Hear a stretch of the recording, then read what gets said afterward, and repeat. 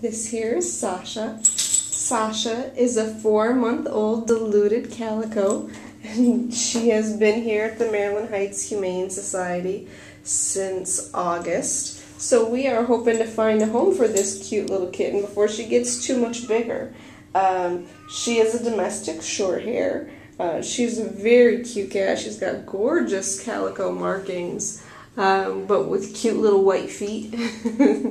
uh, she's very playful. Uh, she was briefly adopted by another family, but she, she didn't, get along with their, their older cat. Their older cat was not big on having a kitten in the household, and and if you know kittens, kittens are very playful and rambunctious and developmentally. They love to play and pounce, and that's just kind of what they do. So um, that's kind of where Sasha is at. So if you are looking for a fun cat that's got lots of energy, then and you're ready to have that in part of your household. You want the fun of a kitten.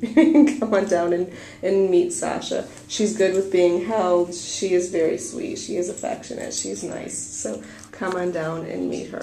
She is a cute little kitty cat and she needs a good home.